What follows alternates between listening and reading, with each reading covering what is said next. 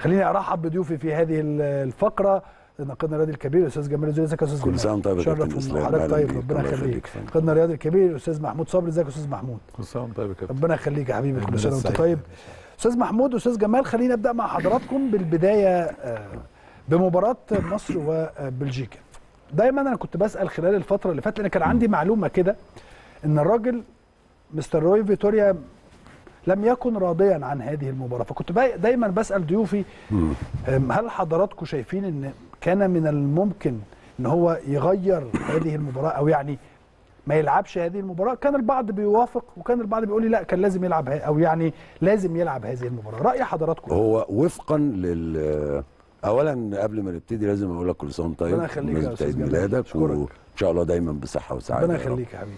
آه، بالنسبة للمباراة آه، طبقا لرغبة فيتوريا آه، هو مش من مصلحته إن مثل هذه المباراة تقام في التوقيت الحالي نعم ده طبيعي جدا لأنه الراجل آه، برضه نقدر نقول ما مرش عليه من ما مرش مش عليه من فترة. مصلحته ولا مش من مصلحة المنتخب لا هو مش من مصلحته كواحد لسه بيكون المنتخب هو آه بقاله فترة لكن ما لحقش برضه يتوصل إلى. آه، شكل للمنتخب يقدر يخوض بيه. مباراة قوية جدا نعم. بهذا الشكل. لكن آه، ده, ده وجهة نظره. لكن أنا شايف إن هي كمباراة آه، مهمة بالنسبة له إن هو يتعرف فعلا على المستوى الحقيقي لمنتخب مصر. اللي هو بناء عليه يقدر الفترة الجاية آه، يعني تبقى أفكاره أكثر وضوح بالنسبة للمنتخب. وبالتالي المباراة زي ما شفنا منتخب الإمارات مثلا بس طبعا بعيد عن النتيجة يعني عشان آه. من مع كابتن إبراهيم الارجنتين نور الدين عمل مباراة كويسة جدا. آه. هنتكلم فيها لكن أيوه خلينا نكمل. لا أنا أقصد إيه إنه ال- الإمارات مثلا لعبت مع الأرجنتين. هي فرصة وجود هذه المنتخبات في المنطقة العربية عموما ورغبة هذه المنتخبات إنها تلعب مباريات. ففرصة جيدة. أوكي. آه، لكن أنا برضو بخاف على المظهر العام للمنتخب يعني. أستاذ محمود. هناخد من كلمة خاف على المظهر العام. آه. لو خايف على المظهر العام يبقى خلاص نقفل ونبطل. هو مستر روي فيتوريا خايف أو قلقان. هو كان قلقان وكان رافض من البداية ماتش بلجيكا. بالظبط. أوكي. لكن أنا من وجهة نظري أنا بحمل اتحاد الكرة المسؤولية إنه لم يختار بالصورة المناسبة فترة هذه فترة التوقف لعب على الأقل مباراتين. صحيح. النهارده أنت لعبت مع بلجيكا. في غيرك بقى؟ ها؟ عمان لعبت مع ألمانيا في اللي لعب مع إسبانيا في اللي لعب مع الأرجنتين في اللي لعب مع البرازيل. كان يتوجب يا كابتن إسلام أن يكون لدى اتحاد الكره خطوات أسرع أيوه لإعداد مباراتين على الأقل. غير بلجيكا مباراة غير بلجيكا. في مباراة تانية غير مباراة. بلجيكا. آه، okay. يا قبل بلجيكا. الراجل رفض. آه أيوه. ما أنا بكلم لا الكلام ده مفيش حاجة مسألة إنه الراجل رفض.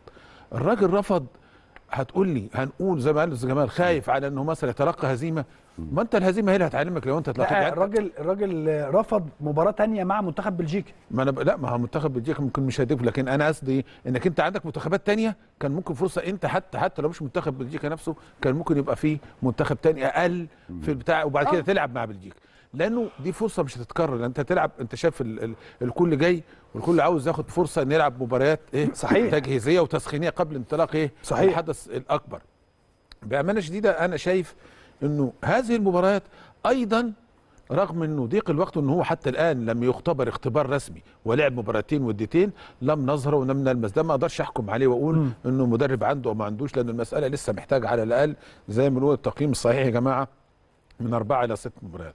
هذه مباراة تحدي كبير بالنسبة للفيتوريا لابد أن يشعر الجمهور والمشاهد والمتابع المصري أنه في لمسة على الأقل في المباراة أوكي. أنه في فكرة للمدرب واضحة هتتنفذ.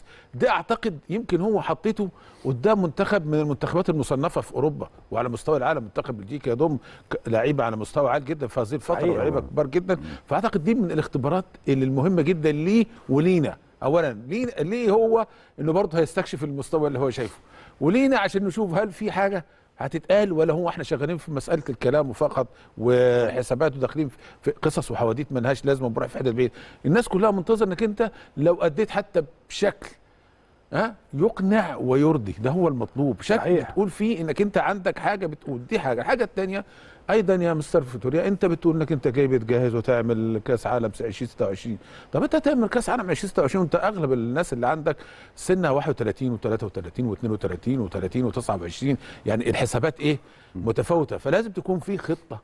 الناس عاوزة تشعر فيها إن أنا إيه؟ هقدم على الأقل واحد واثنين أو ثلاثة لو أنا شايف من عندنا إحنا شايفين عندنا مستويات منتخبات الناشئين 2006 و2003 والدنيا برضو لسه مش واضحة وعندنا داخلين لأن إحنا غايبين لنا فترة. يا كابتن إسلام عن المشاركات إيه؟ صحيح. على م- على م- على منتخبات الناشئين في البطولات سواء الافريقيه وغيرها. الفترة دي خدناها دي اللي صنعت الجيل اللي صنع الإنجازات اللي اتعملت في 2006 و2008 و2010 قبل كده كنا إيه؟ كان عندنا منتخبات متميزة في إيه؟ في مختلف المراحل أدت بينا إحنا عندنا كوادر وعندنا لعيبة كتير جدا قدرنا نختار منهم الأفضل اللي وصلنا للمستوى اللي إحنا مطلوب عاوز أقول يا جماعة حتى لو كان خسر منتخب 2006 مع كابتن محمد وهبه واللي حصل لكن أنا شايف أنا شايف إنه التجارب والعودة للمرحلة دي مهمة جدا. لكن المسألة إيه؟ لابد أن يكون هناك تقييم منطقي وحصر إيه اللعيبة الأفضل والبحث عن الأفضل. يعني لو لقيت اثنين ثلاثة من المنتخب كويسين أقدر أطلعهم من المنتخب اللي أعلى. وأحاسب. بعد كده أدور وك... يعني يعني نعمل إيه؟ مسألة كوادر. تجربة بلجيكا من وجهة نظري تجربة مهمة جدا كاشفة لفيتوريا وكاشفة فيتوريا لنا.